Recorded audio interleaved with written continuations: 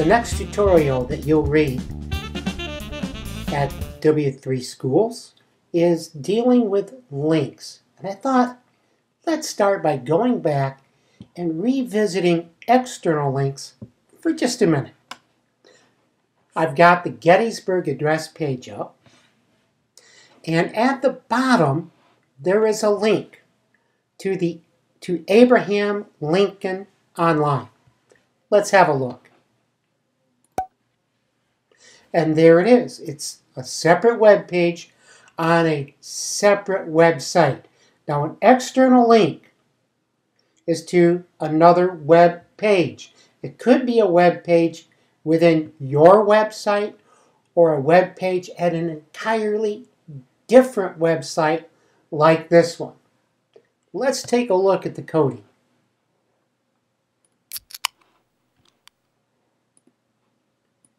Load up Gettysburg and let's come down and I'm just going to have to make this just a tad wide, wider so you can see Oh, that's a great big long, very long link. Okay. Now, let's highlight that code. Hopefully you can see it all. What we're using here is an anchor tag. It's a toggle tag, so we turn it on and off. And the element for the anchor tag is the letter A.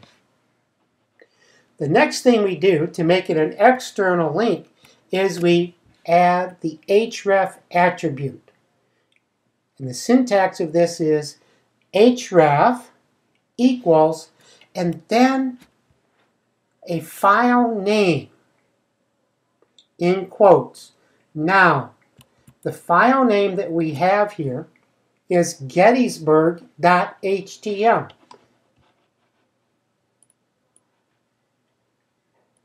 Okay?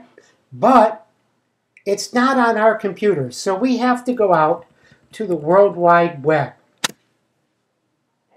and start looking for its location. Whenever we go to an external website, our file path will begin with http colon and two forward slashes.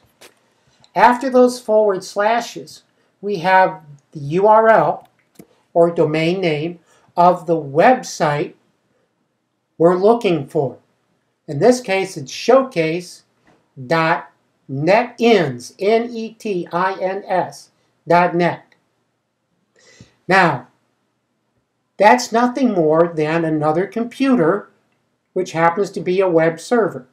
And as a computer, it has its own directories and subdirectories, or if you choose, folders and subfolders. So, we want to be in the web directory. And within that web directory, there's another directory called creative. We want to go there. Within Creative, we'll find a subdirectory called Lincoln, and we'll go there. Finally, we'll go from Lincoln to Speeches. Within Speeches, we will find the file gettysburg.htm. Okay, so that is a very long file path. But we didn't have to type it in. I used cut and paste. The next attribute that I've added is this target equals quote underscore blank end quote.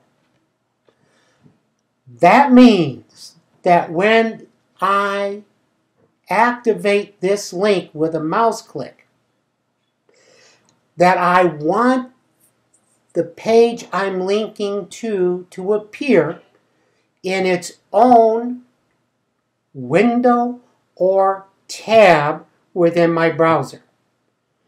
The reason you would want to do this is it maintains your web page presence.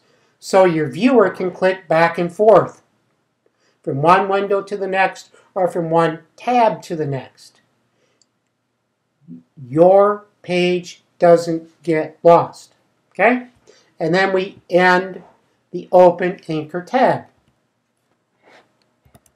We close that open anchor tag with a slash A. Now, this link is tagged to whatever exists between the open anchor and close anchor. In this case, it's the text Abraham Lincoln Online.